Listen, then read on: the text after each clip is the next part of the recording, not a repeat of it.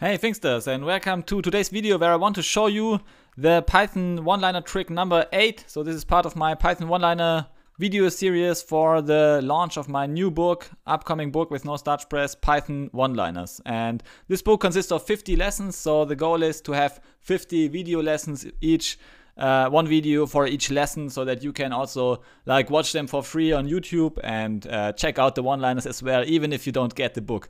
Okay, so in this video I will um, explain generator expressions, which is very important for um, advanced Python co coding skills. So if you want to really become an advanced coder, then you need to master at least list comprehension generator expressions because you will use them very, very often in your own code projects. And even it's it's often the more Pythonic way of uh, writing code, creating lists, creating iterables with a generator expression or list comprehension rather than having a for loop and iterating over some variables. So if you come, even especially if you come from Java, C++, and so, then you lean toward uh, writing loops writing a lot of loops and even even to fill some some uh, some simple lists you you tend to write a, a, whole for loop for this.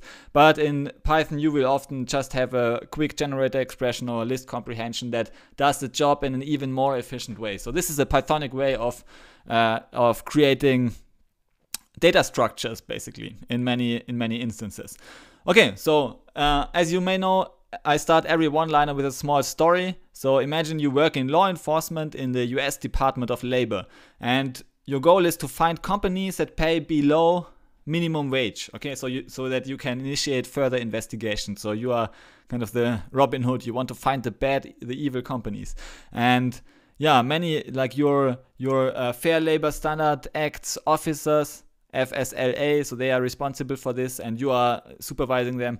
And they are already waiting for a list of companies that violate the minimum wage law, okay? Because they want to investigate further. Can you provide this list to them? So you have one weapon uh, which is the any function. And the any fun function in Python, it takes one iterable as an input. Can be a list and it returns true if at least one element in this iterable evaluates to true. Okay, otherwise it will return false.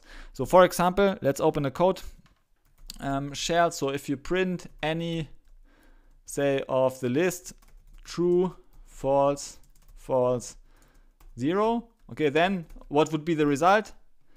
yeah, the any function evaluates to true in this case because we so like if any element in this list evaluates to true then the result will be true. So even if you have like this one then we have you have basically two values that evaluate to true which is this one value and this four value. So this one also evaluates to true. Because as you may know uh, in python there is no real boolean value. Boolean is implemented with a simple integer um, uh, on top of integers, which means that uh, that the boolean integer the uh, integer value of zero represents the boolean false, and all other integer values represent the boolean true. Okay, so therefore, even if you have like this one, zero zero four zero, this will, will evaluate to true. Okay, so any function gives you this opportunity, and uh, yeah, Python's even Python's creator Guido van Rossum he was a huge fan of the any function. Okay, and he, he even proposed to include this as a built-in function in Python. So you don't even have to import a package to use the any function. And uh, yeah, and he was a he was a huge fan. So you can check out uh, in the book. You I give a link to to uh, an article. I don't have the article now uh, on me, but uh, um, yeah, you can check out. You can also Google the the the title of the article. It's called "The Fate of Reduce in Python 3000," and he argued against using the reduce function and for using the any function because it's also very very powerful. Okay, and yeah, in this in this uh, in this one-liner snippet, we are going to use the any function.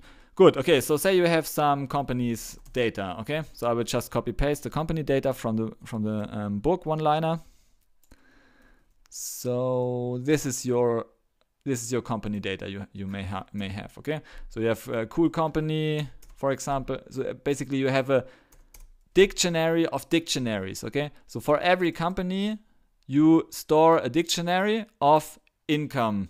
Uh, So, so like an hourly wage or so. Okay, hourly wage should be nine dollars at least. So you want to find all companies that pay below nine dollars in the U.S. Okay, so you have like for example here Alice earns thirty-three dollars per hour, Bob earns twenty-eight dollars per hour, and Frank earns twenty-two dollars per hour. So this company should not be a return value of your function. Okay, but this cheap company uh, they they have some laborer who earn less than nine dollars per hour, so they should be investigated further. Okay, so this should be the result. Find all companies that uh, that basically are illegal. Okay, so you use we simply store it in a, we create a list of companies that are illegal, and we just want to have the company names.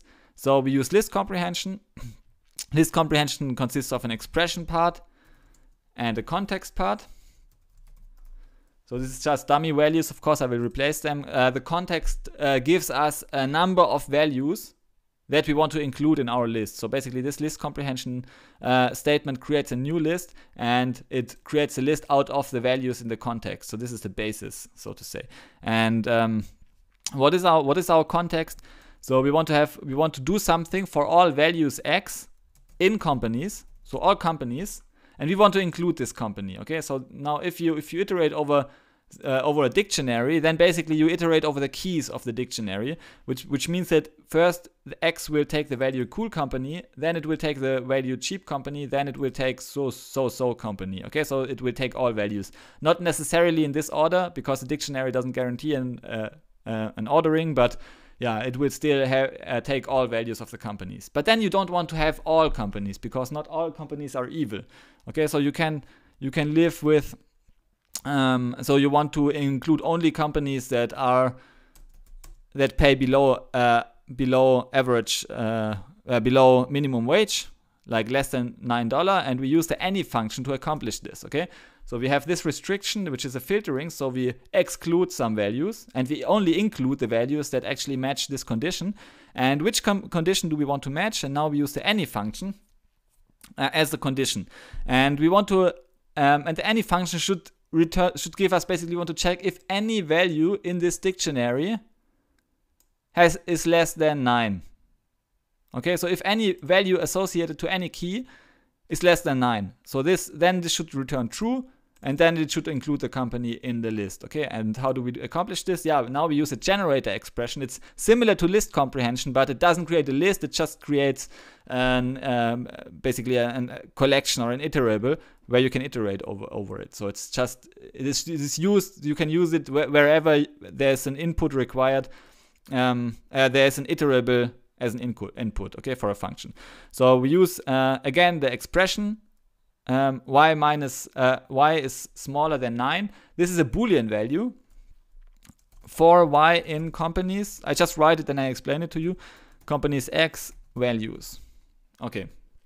So again, we have the, as in the list uh, comprehension case, we have the expression and we have the context.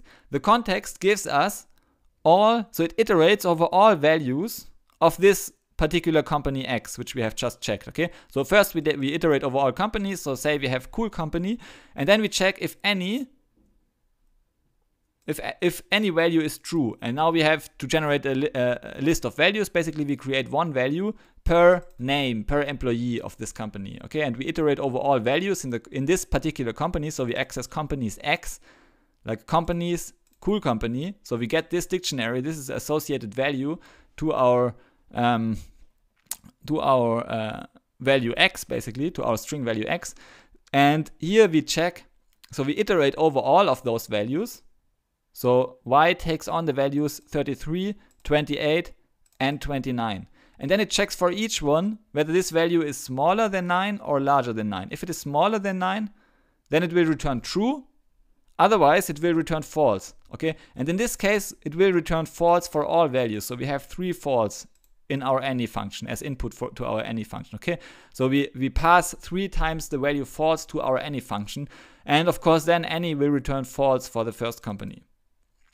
Okay, it will return false, and therefore the first company will not be included in the list. But the second company, the cheap company, here again we check and is any does any of the values, not the keys, but the values of this dictionary associated to the cheap company is smaller than 9 and yes it is so it finds this one 4 and it also finds this one 7 And uh, so this company, cheap company, will be included in the list of illegal companies. And then again, so-so company will also be included because the value for coal is smaller than 9 as well.